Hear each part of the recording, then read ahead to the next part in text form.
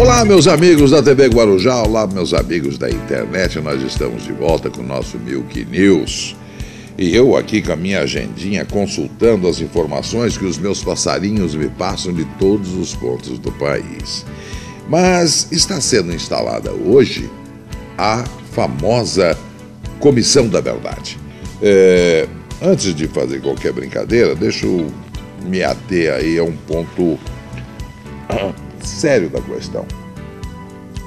Eu sei, todos nós sabemos, que essa comissão da verdade, muito embora os militares tenham sido contrários, é, ela não terá nenhum efeito prático. O que, que eu chamo de efeito prático? Ainda que venham a ser esclarecidas as torturas, as violências do passado, no tempo da ditadura, existem algumas questões. Primeiro, é, é, muito discutível, mas há uma corrente de juristas que admite que a anistia colocou tudo na, na caixa da saudade, quer dizer, do passado. Existe um outro aspecto jurídico. Todos aqueles possíveis crimes que venham a ser é, esclarecidos hoje já estão prescritos também. Então existem essas duas correntes e depois tem o clamor público, tem a opinião pública, depois interesses políticos e tudo mais. Mas a existência dessa comissão é muito importante, muito pouca gente está é, é, tá dando valor para isso. Eu sou absolutamente e francamente favorável à existência, por quê? Porque muita coisa vai vir à tona. Porque existe muita coisa ainda embaixo do tapete, sabemos nós. Própria presidenta Dilma Rousseff foi vítima. Foi vítima de tortura, foi submetida aos tradicionais pau de araras e outros tipos de tortura. O seu torturador, já reconhecido e sabido, um tenente-coronel, mora aqui no Guarujá, reside aqui.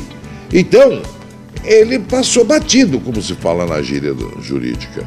Ele nunca foi indiciado em nada e nem sequer revelado o seu ato, esse ato de violência que ele cometeu naquela ocasião, quando era então capitão. Então, é importante? É. É importante que se fale no assunto? É. Para que as novas gerações saibam o nosso período de chumbo, o nosso período de terror durante a ditadura e que nunca pensem na possibilidade da volta de uma ditadura ao nosso país. Vivemos um regime democrático e temos que aceitar. E sempre com aquela máxima que é importantíssima: adversário político não é inimigo, tá? Na democracia, adversário não é inimigo. E a história nos mostra, toda a, a história brasileira nos mostra que Adversários antigos são companheiros de partido hoje, os que hoje é, foram companheiros são adversários. Caso patente do próprio, com perdão da má palavra, do José Sarney. Ele foi senador da Arena, ele foi presidente da Arena, que era o órgão, é, é, que era o partido na ocasião que representava a extrema-direita, hoje ele apoia o governo de esquerda. Então, nunca, nunca tenha o seu adversário como inimigo. Isso é o princípio basilar da democracia. Então, é preciso que essas coisas sejam esclarecidas. O, o povo judeu faz isso com maestria. Vez por outra, fala-se no Holocausto, naquela barbaridade, naquela monstruosidade contra o, o povo judeu. E é bom que eles sempre repitam, todos os anos, para que as novas gerações saibam o que foi aquilo, a barbárie daquilo, milhões de pessoas mortas, câmara de gás, é, e, e prisões absurdas, desumanas. É bom que as pessoas saibam o que é, é o extremismo, tanto de esquerda quanto de direita. O ideal é realmente a democracia. E para isso, hoje, cria-se, inaugura-se estão tomando posse hoje os sete membros que vão compor a, tal Comissão da Verdade. Eu desejo a eles todo sucesso nesse trabalho. Mas para desanuviar o ambiente, já que o governo criou a Comissão da Verdade, por que eu, cidadão brasileiro, no gozo dos meus direitos, não posso também criar a minha comissão? Só que a minha comissão para contraditar esta do governo é a Comissão da Mentira. É, vamos criar a Comissão da Mentira, por que não? Então, por favor, anotem os membros que eu é, escolhi a dedo para que viesse a fazer parte da Comissão da Mentira. A Comissão da Mentira será presidida pelo ilustre senador José Sarney. O vice-presidente da Comissão da Mentira será o senhor Renan Calheiros, senador da República. O secretário-geral desta comissão, o senhor Fernando Collor de Mello. Olha que, que comissão maravilhosa. O tesoureiro, quem vai cuidar da parte financeira, e ele entende muito, o senhor Paulo Maluf. O segundo secretário, para que também é responsável pelos assuntos de divulgação, o senhor Roberto Jefferson. Ele sabe divulgar, sabe divulgar bem. O, e como membros, até agora, e fiquem aberto para que vocês sugiram outros nomes, membros Valdemar Costa Neto, lembra-se dele? Aquele que renunciou para não ser casado? É, também faz parte, né? José Disseu. Opa, ex-ministro José Disseu, que maravilha! Não poderia faltar na comissão da mentira. E vem junto com o seu, o homem da sua mala, aquele que guardava o dinheiro, que era o tesoureiro do grupo, Delúbio Soares. Que maravilha! A comissão da mentira aqui está tá? Então, vocês que anotaram os nomes, vocês quiserem, vocês entrem na internet, né? É, reassistam o programa, anote os nomes, que é muito importante. E como eu sei que vocês vão interagir conosco, mande sugestões. Ela não tem. A comissão da, da, da verdade do governo eh, foi limitada em sete. Como a comissão da mentira tem muito mais mentiroso, então ela não tem limite. Tem espaço para todo mundo. Vocês entrem em contato conosco através ah, os e-mails, né, a, a, pela tvguarujá.com, www.tvguarujá.com ou milknewstv.com também, www. Vocês têm várias maneiras de entrar em contato conosco. Por favor, seja um passarinho nosso tá? E nos mande nomes para essa comissão, que vai ser uma delícia. Meu Deus do céu, vou mandar imprimir isso. Agora, tem uma outra coisa muito importante, que também a partir de hoje já está em vigor. Trata-se da lei de acesso. Pouca gente sabe o que é isso. Fazem muita confusão.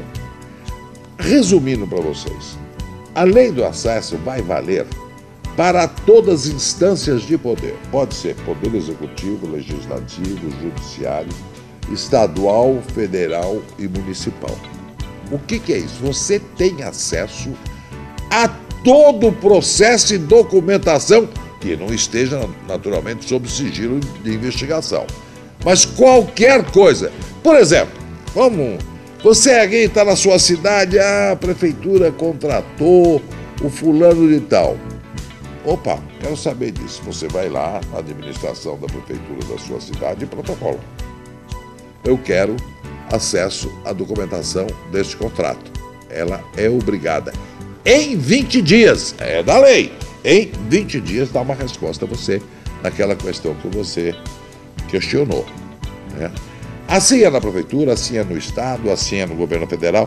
Qualquer órgão a partir de hoje terá que te responder em 20 dias, ou então vai responder eh, administrativamente. O acesso poderá ser feito por protocolo, uma petição, um requerimento, alguma coisa. Por telefone, e os telefones estão sendo divulgados pela imprensa toda. Né? Qualquer telefone da repartição que você vai querer o documento. Pode ser feito pela internet, alguns órgãos ainda não estão preparados. A internet ainda não está, mas eles têm prazo de mais 48 horas para estarem em condições de, de, de receber o seu pedido. Então, você pode fazer por telefone, por carta e pela internet. Qualquer dúvida que você tenha, você pode. Ah, por que, que a Delta fez um contrato para o Maracanã? Por exemplo, você pode querer, você pode querer ser curioso. Você tem. Porque antigamente existia uma figura jurídica chamada legitimidade de causa, que os mais eruditos chamam de ad causa. Você só ia pedir alguma coisa se você tivesse algum interesse direto, se você tivesse legitimidade para pedir aquela informação. Agora não. A lei de acesso, qualquer cidadão brasileiro que tenha ou não ligação com o fato tem direito de saber.